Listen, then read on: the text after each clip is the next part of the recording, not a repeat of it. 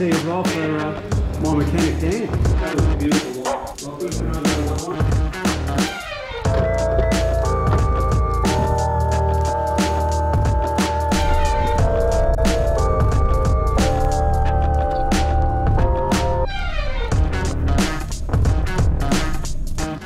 Cup of tea. Thanks very much. Got to start the day off um, good, don't you? Yes. How are you, Yeah. mate? Back again. Yes. So uh, we're going to finally get come to the end of this um, The saga. the the steering side of things, eh? yeah, well, we've had troubles with alignments and This camera up. Yeah. yeah, we've had trouble with alignments and things not quite adding up and it looks like potentially there's more bent inside of there so we're, So we're just going to admit defeat and um, and actually Uh. replace the lower arms now as well. So you reckon you'll get me on the tools today, mate? You reckon I can give you a hand? I've seen this. I've Um, seen this job done a number of times now, back and forth. Yeah, it this is quite straightforward. Yeah. It's, pre- it's pretty easy. Maybe Um, I can do one side of it. The, the only thing that will catch us is if the eccentric bolts are seized. Um, We know what we, we've, we've seen a few of them on this car so far, mate. yeah, and I'm going to say that they will be. So I've got new ones here. Yeah, fair Yeah. enough. No matter what happens, there's new ones going in. Always a grinder. There's always a grinder. Is that There's always a grinder to cut them out. Yeah, Nice, mate. yeah. So um, You didn't have to clean the floor for me, mate. I, I, I was going to, but See, this is how this is how this man operates. He's pretty good, isn't he? All right, I'll get my coffee out and um, Right. work out what we're going to do, mate. Yeah. Oh, look at these bad boys. So these are the lower control arms that are going on the on the uh, on the Prado. Should be the end of the saga. My steering after um, I was out with Ruben at Coffs Harbour there. Wow, look at these, eh? Look at these bad boys. All right pretty solid. So uh, hopefully that sorts out all, the, all those issues there. uh, Get these wheels off there. What do you reckon, mate? Yeah, You trust me to do that? I, I, I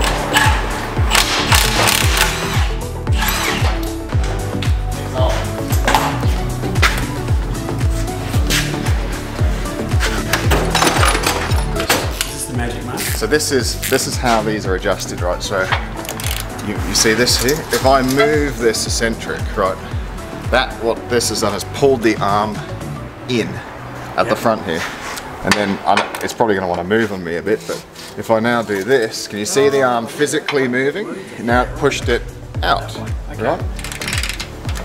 So, Yeah. So, so Dan, I'm, I'm a bit limited in my knowledge. So we take this off, don't we? That's that special one where you got to screw back up again so it doesn't all hit you in the face. Is that the one? we're not actually going to do it that way. Ah. On, this, on this, no. The, the lower arms on these are, are actually really nice and simple. Are they? Um, they're like super, super, super simple. Yeah. Um, you basically are taking this bolt off for the, for the lower um, strut mount, the Yep. lower eye. We know they're not going to be seized because they haven't long been on. No, they shouldn't be. Yep. um, and then we're going to loosen off the eccentric bolts there for the, um, the caster adjustment. Yep. Okay. Um, and uh, or caster and camber.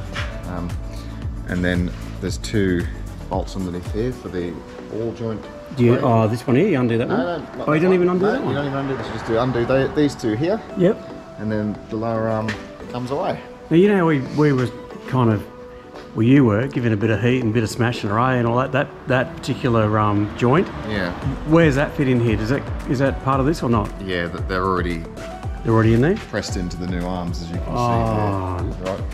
So all the pain that I went through getting your old ones out on the last.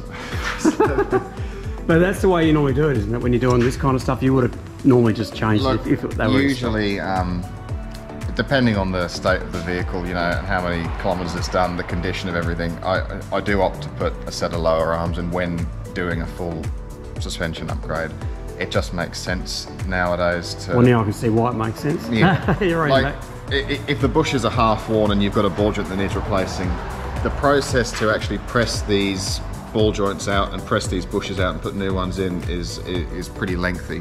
They're not the nicest ones to do, and control a complete control arm like this um, is is really cost effective now. By the Yeah. time you actually buy the bushes and a ball joint and the labour involved to do the job, you may as well actually purchase an arm, take one out, bolt one in.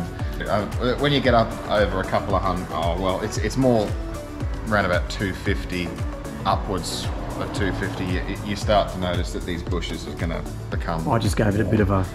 Yeah, I just speeded up that. I, I, I think I think you hit that side a little bit too hard, and I, I, I I'm pretty sure something's bent in there too now. Yeah, yeah. Um, but anyway, we had to kind of do it a bit of a trial and error. It's very difficult to see by eye. Even the wheel aligner didn't pick it up as such. It kind of just wasn't Went quite right. So that's that's how you adjust it. So you can see it's physically moving the front of the arm in and out, which you can see is slightly, slightly turning the actual And the camera. right? Yeah, so this is basically setting, like you can see that there, you're, you're setting caster here because you, the, the actual where this ball joint is, is moving slightly forward or, or, or pushing back, right? So camber is when you adjust both of them and it will pull the arm this way Yeah. or push it this way. So can you tell by here, is that on its like highest setting to bring that back in? Is That, that's pretty much dead down the middle, really. So something's going on in here. Um, well, I would expect with a lifted vehicle that you should be kind of more shortening this arm slightly. So I would expect I would expect this to be sitting more around that. It's better already. It's working. Oh, right. it's a bit hard to tell. It's hard to tell, Yeah. but once you get it on the aligner, it, it it's easier to work out what, what to do, right? But yeah, what, what I'm saying is, I think something is bent here. I think I think that's the, I think that's it. the only thing that's left is it must be bent here somewhere, or in this where the actual cast section of the ball joint housing goes into the fabricated section of the arm. Right? That's where I think there's a, there might be a bend just here somewhere because we're basically this is not sitting how it should. The bottom of this wheel is sitting too far out, so I think it's bent. I think it's bent it up. Okay. Yeah. But um, what we're going to do is, uh, yeah, we're going to pull these arms out and pop the new ones in. So these don't feel like they're seized, which is really, really good. I, I was, I thought you were actually going to have seized here. So you just work them out like this. Right, the tube comes out Yep. like that, and you can see it's a bit rusty. This, this this is usually what seizes in there, and then you've got to you've got to actually physically cut them out. Not Yeah. not not this. You want to cut through the tube to get them out. But I'm very surprised. Well, the luck we've had lately, mate, is pretty surprising, isn't it? uh, I'm glad because it's a real nightmare to cut them out. Yeah, well, there you go. So you do the exact same. It's the opposite side. You just Before we, before we uh, celebrate, just gotta make sure it's you just work them out like this.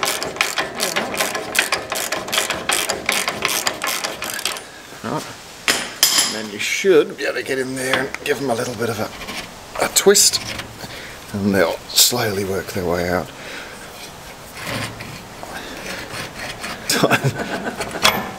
Oh, Right, mate, like that. at. So that's just saved you what? About an hour or so? Are not so much of a problem. These are just simply a bolt. There's no sleeve that goes through, um, so they're not so much of a problem. Well, it, it wasn't. It wasn't just that. It, it they, they couldn't get it to align for some reason on this side. It was just too far out. But no, I, I don't know why they didn't want to play with these. But anyway, we're we're going to we're going we're going to set it up properly. We're going to a more qualified person anyway, aren't We're going to my um. My my go-to person. Yeah. But usually I set it up and I say to them, hey, look, this is the way it needs to be. This is the specs, or, or these are the specs I'm looking for, and they'll adjust it to suit. Because not not every vehicle actually wants to go back to factory specs, by the way. Um, you want to set it up specifically for the suspension type.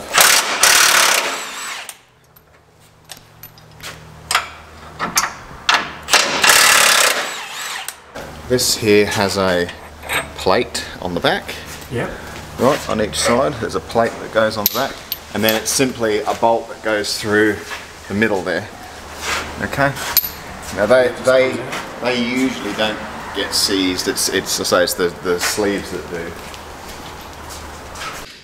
Now, um, I'm going to throw a question in here for the viewers Yeah. and for me because um, the steering part of it, um, I don't know if anyone out there is the same, but I struggle to get my head around it. So, uh, I, the camber, this is the camber, isn't it? That's what adjusts it. I, Yeah, I just I can't understand how by Yeah. tightening up a bolt that goes this way, how that adjusts it this way. Are you, are you able to this, explain it? this is uh, to adjust camber and caster.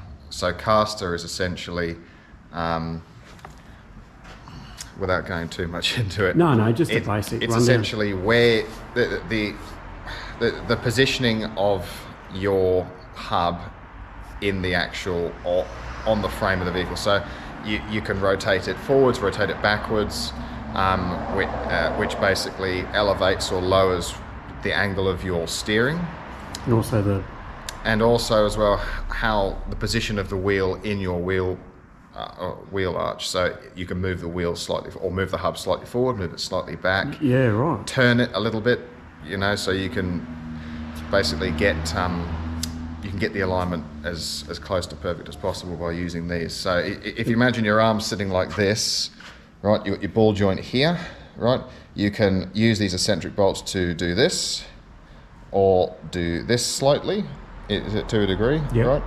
Um, and that just realigns everything. What about? Because the problem I got is my wheels yeah. pointing inwards. Yeah, so yeah, so this whole arm can move inwards and outwards like this. Okay, by using these. Okay. Right. So it, it, it can move. It, it can push.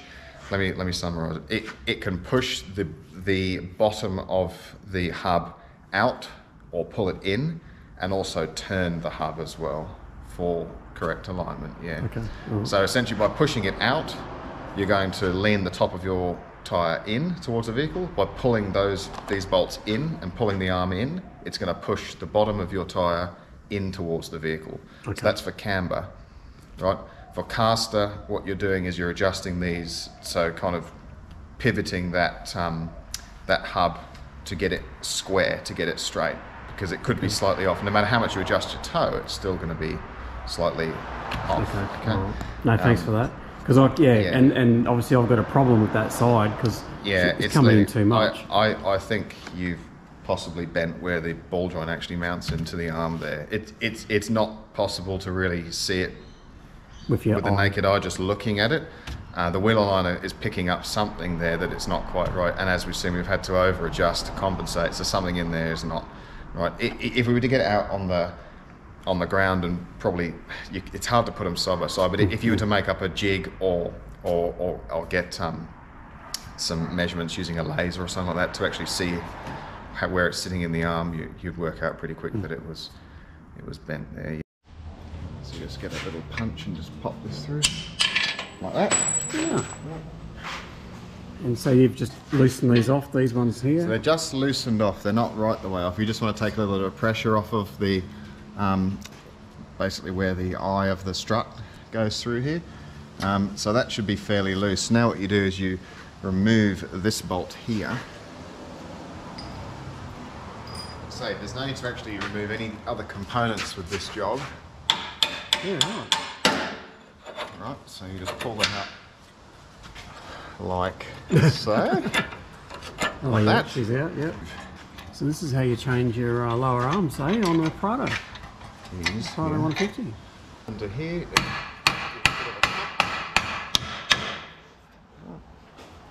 Okay. Ah, I see what it's doing. Wow, there you have it. Right, and you're away.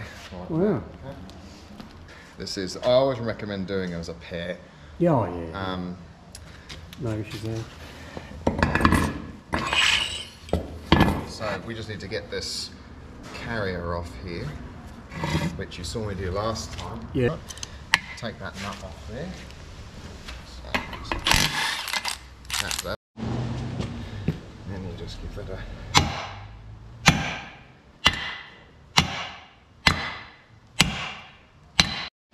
She's off. So yeah, that sits up there like that. Yeah. Okay, so we just have to work out here when we flip this up. Sorry, we're going to work it out this way. That one wants to go like that. So you're just going to be careful when putting these back together because um, there is a little steering stop here, like a little striker plate on the, and that should point towards the front of the vehicle. Right. So as you can see, it's going to go and hit up against the other side here, like that. I want it this way around because one, it's not going to fit properly, and two, it's actually going to overextend the steering. So it has to go that way like that. Yep.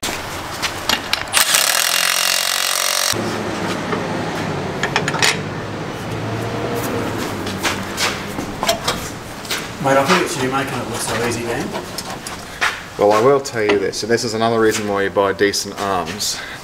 Some of the others don't actually fit that well. Oh, then they're a bit misshapen, or they don't. Get, like you saw that that literally just slotted straight in, like the other one come out. Yeah, there's they're not they're not all like that. I will tell you. Um, I've had some people supply some cheap ones, and they have not been like that whatsoever. I think the best way, mate, is for them just to give you a call if they need some lower arms. Yeah. Anyone? I'm just gonna uh, I'm just gonna move this for the sake of making the job easier and actually having an arm that you're gonna put in there and basically forget about for the next ten years. Just buy the decent ones. Yeah. yeah. Yeah. Well, Compared to the drums we had before. there's not much of it that's the original in, underneath anymore, is there? Well, we say a suspension upgrade. I definitely uh, I can, can say that. you can say that. Yeah, well, it, it, it, it was looking quite promising when we first started doing it, but then we slowly found out that there was a bit more bent in there than what we both first oh, first thought. Damn it.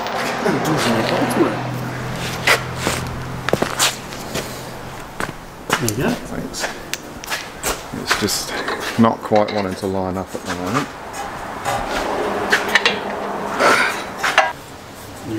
Your here. He's slacking up. The camera. Right.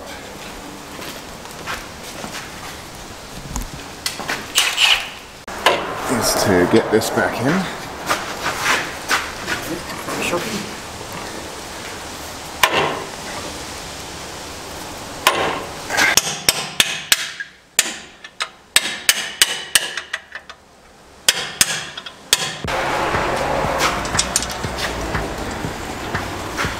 Goes on there. Yep, and then we want to put the eccentric bolts in there. So you can just line it up by eye. And as you can see earlier, we've got some little yellow marks here. Yeah, Which Which is- so I can drive out of here, Dan. That's so that we can get it as close to where it was, and it's, so it's not going to be obscenely out of alignment. So basically, this little notch here, we are just lining up with where our yellow marks were, like that. This will all change once it's on the aligner, but for the moment, we're just putting it back to exactly where it was, so it's as close to So that's that line there. that little that little notch there, yeah. little notch there. Yep. Okay. Um, so what we do with this, and this is just something that I've done now for like the last 10 years, and uh, if you ever get one of these that does have, like I say, I'm going to keep going on about these seize bolts because it's a real horrible. this this is actually um, what I use for putting on brake pads, but it's just it's just a bit of um, anti-seize basically. So you just you don't need to actually coat it. Right? There's a little bit on there. Yeah. Right. Now,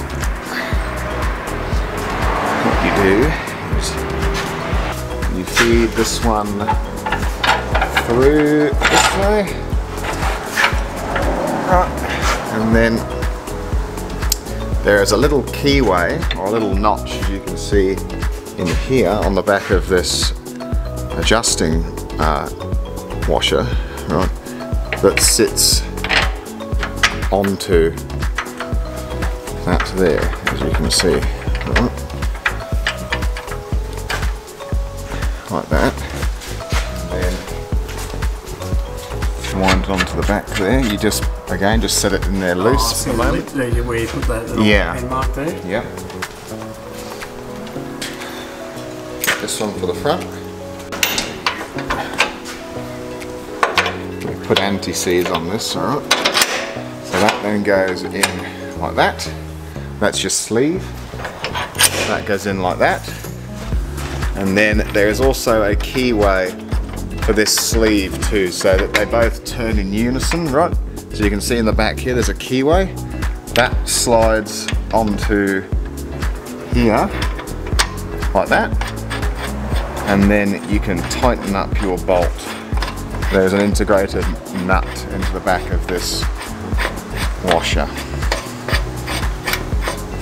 Like that.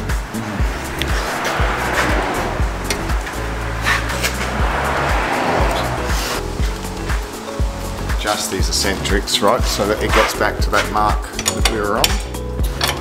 Hang on a sec, I've got the wrong. Oh, there's 24. Right. So, we get that. Right, so we're just going to put that back around right there to where it was. Okay. And this one here, oh, okay, that's already on it. So, Does that mean you flicked it, mate? I must have, yeah. Been doing the job too long. Get that across that way a bit, but that's pretty much it there.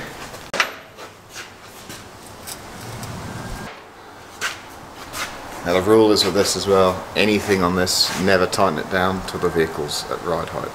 Because otherwise it just overextends or flexes the bushes and you may as well just throw them in the bin after, five, after 12 months, they'll probably be completely stretched and split and worn out.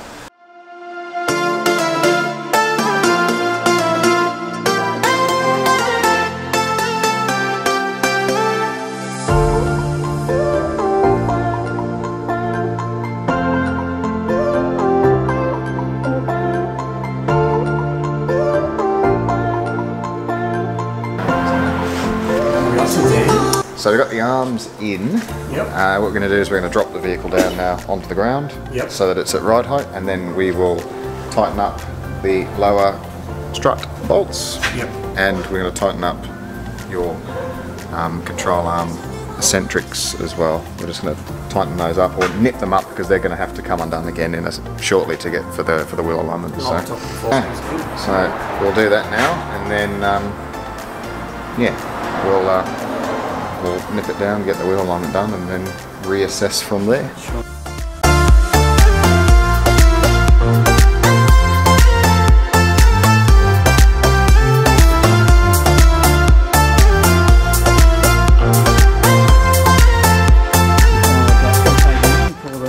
Yeah. Goes in for its wheel alignment. Yep.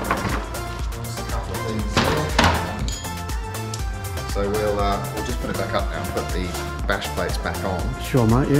um, and then we're good to go. All right. Done, eh? Well done. You guys see that little that light there? So if you have that stay on at any time, can you believe it? But these Prados have a steering sensor. So what Adam was explaining to me was that when they've done the wheel alignment, uh, because of the suspension upgrade and everything that's happened, it's gone out of the perimeters for what this car's set for or what the computer uh, knows it to be set for. So what they've got to do is they've got to zero it back to where it should be and calibrate the computer or the sensor or whatever they do. I'm not sure the technical way of saying it, but anyway, there's a something for you guys at home. Um, if you ever have that little light come on and it just stays on, that's what it is. It's your steering sensor.